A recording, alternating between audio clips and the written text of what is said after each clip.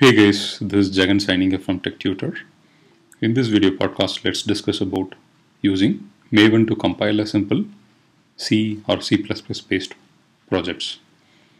So usually Maven is used to compile Java based projects, but uh, in this case, I would like to use Maven to compile C++ based projects.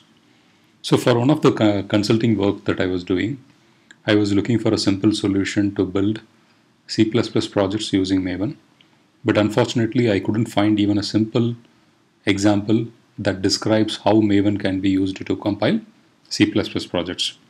There were several uh, portals, of several blogs which explains that NAR plugin can be used to build C, C++ based projects, but uh, not uh, even one single portal explains with code example how you can achieve the same using those plugins.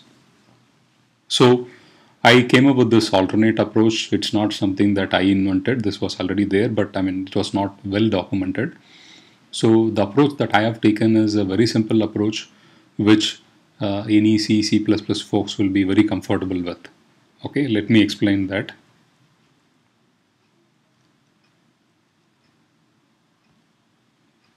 So I would like to use uh, slides. Normally I don't use any slides. However, I thought there are many things to explain, so I thought I will uh, do it organized uh, fashion.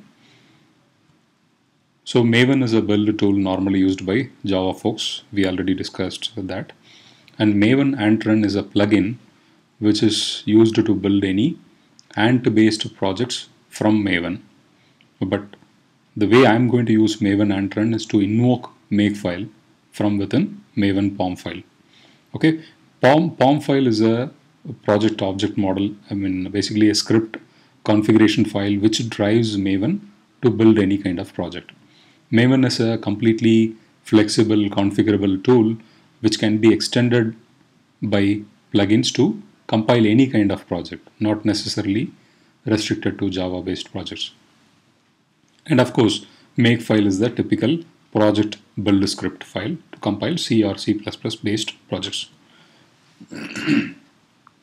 So in high level, so uh, we will be using Maven build tool and Maven uh, uses a particular file called pom, pom.xml file which drives the build whole build. Okay, so the approach that we have taken here, I have taken here is basically the pom file will invoke build.xml which is an ant project configuration file, build configuration file. So uh, the approach is basically once you are able to compile your C++ project or C based project with makefile, you can always invoke the same from ant, okay, even from the command line. The moment you are able to do that, you can always integrate that POM, the same build.xml file with the pom.xml file. so that's the approach I've basically taken. So, uh, I mean, uh, when you when you compile your project using Maven compile, the pom.xml file is uh, configured or written in such a way that it, it will automatically call the builder.xml during this phase, okay, which in turn executes the make file. So that automatically creates the binaries in the target bin folder.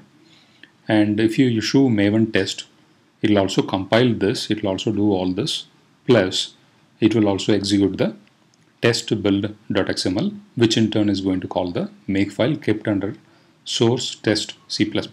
Basically, this particular makefile will compile your unit tester project, and this particular makefile will compile the production, your main product. Okay, and uh, the makefile is also written in such a way that it will automatically call the, I mean, the executed binary. Simple. Okay, because that is a part of your uh, uh, unit test framework, basically.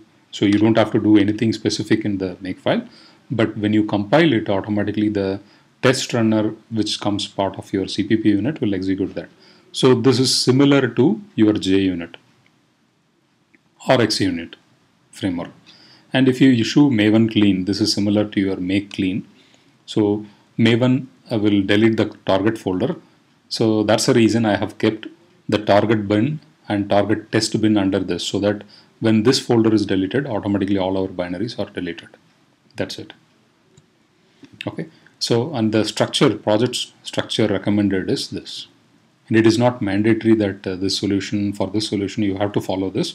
However, this is the Maven way or the Maven recommended structure. Normally, this is the same structure used by Java projects, except that instead of C++, here you will have a Java and then uh, you will have all the Java files over here. Okay, so in the project root folder, you will have this pom.xml file and you will have two folders one is source and other is the target. Source folder will have both your uh, main project as well as the test project. And the main project will follow a structure called main. Followed by that you will have a subdirectory called C++ and all your source files goes here. In fact if you would like to keep include inc and src inside that is left to you. Maybe in that case you have to slightly tweak this make file okay? So this make file will be able to compile this project. That's it. And the unit tester is separated so that you can keep your uh, production code separate and uh, test cases separate. That's the idea. So the test folder will have C++ and then all the unit test related files source files will go here. And this make file will be able to compile this unit tester project. Simple. And this is these two are basically ant build scripts. This particular build.xml file is returned to invoke this make file which will eventually compile the main product. And this particular test build configurations file is designed in such a way it will invoke this particular make file kept under this folder okay which in turn will compile the test binaries. As simple as that and Maven compile or test will automatically create this target folder and I have returned these two make files in such a way all the binaries are created in bin and test bin folder. Basically the bin will have the production binaries and test bin will have the test binaries, test case binaries. Maven POM file skeleton looks like this. Basically every Maven based project will have this pom.file and you will have a project tag and model version is the super pom version and here goes your project and group ID, artifact ID and version these are the three Maven coordinates used to uniquely identify your project or any particular component or plugin in Maven. Okay, so usually in your uh, group ID you can uh, mention your company specific string. So for instance, if I have to give an example, I would say org.tutor for to represent my company. You can actually represent something com.your company, whatever it is. And artifact ID is the uh, ID which explains, which uniquely identifies your project or component or plugin. Okay, and this version is nothing but your project or component version. And uh, the build procedure goes here. Usually for building any particular project, there will be a couple of uh, one or more plugins which we will uh, explain in this uh, section which will basically guide Maven to build that particular project. Okay? And this is a POM snippet which is responsible to create this target bin and target test bin folders. Okay? This gets executed in this process sources life space of your Maven And uh, when you issue Maven compile or Maven clean compile, so this particular section will get executed. So basically what uh, happens is, I mean, uh, this is going to invoke the ant build.xml file kept in this folder. Okay.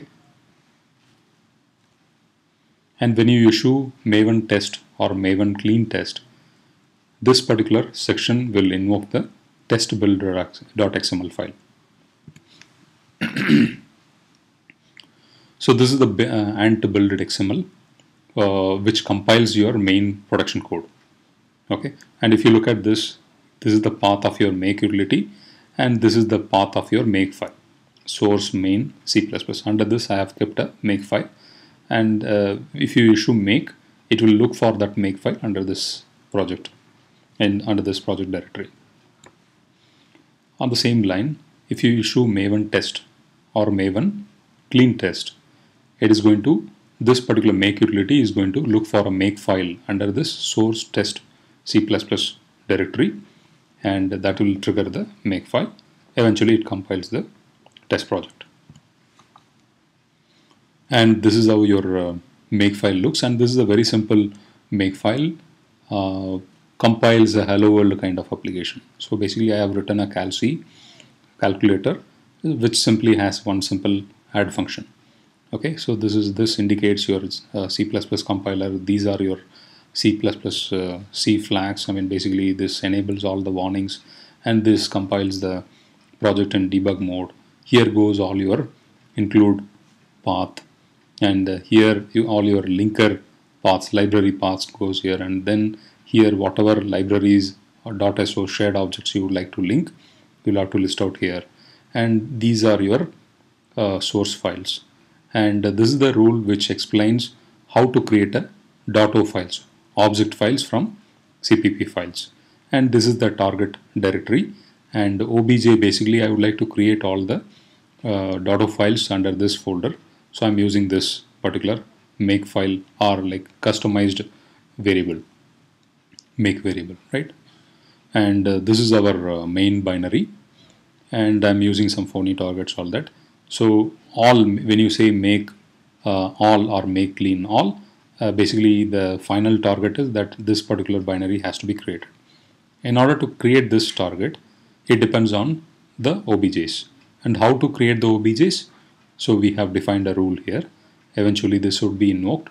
So for each and every .cpp file it will create a .dot .of file using this command. Okay? So once this is done you will have all the objs eventually it can compile the target file by linking the respective uh, libraries all that. Okay? And uh, this is the make file which compiles your unit test project.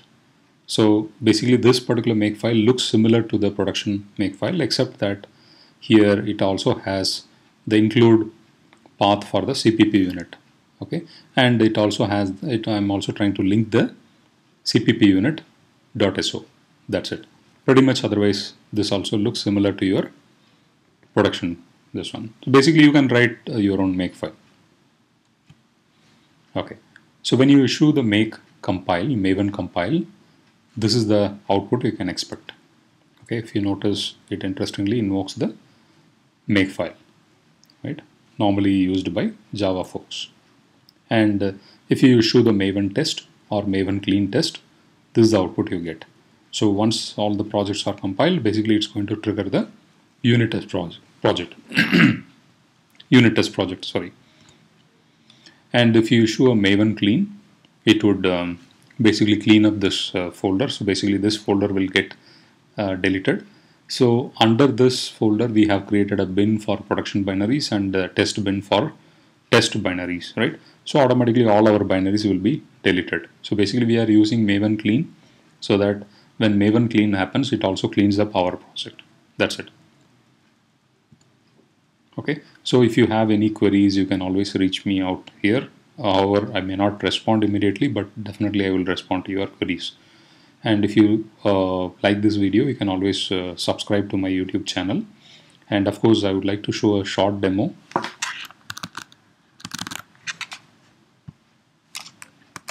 Okay, so I have this uh, folder here. So this is, I have called it as, I mean, I would like to call it as calculator. Basically, the pom.xml file is kept here and all the sections are separately explained in that slides if you have watched my video okay. And uh, I have this source folder here. So which has the build XML which has this build XML file. So basically when the build XML file make is invoked so it is going to look for source main C++ under that it will look for a make file. Okay. Let's see if uh, main has yeah. So as uh, described in the slides I mean I've created a main C++ and then here all your C++ file source file source files goes here. And uh, our make file looks like this. Simple. So now let's see how our test looks like. Okay so it also follows similar folder structure. And uh, here goes your test makefile. So basically you should be able to make your file, you should be able to create uh, make from here as well.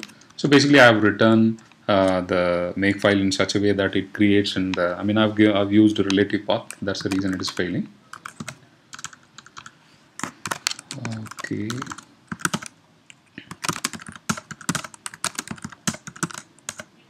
Okay, so now let me compile this project.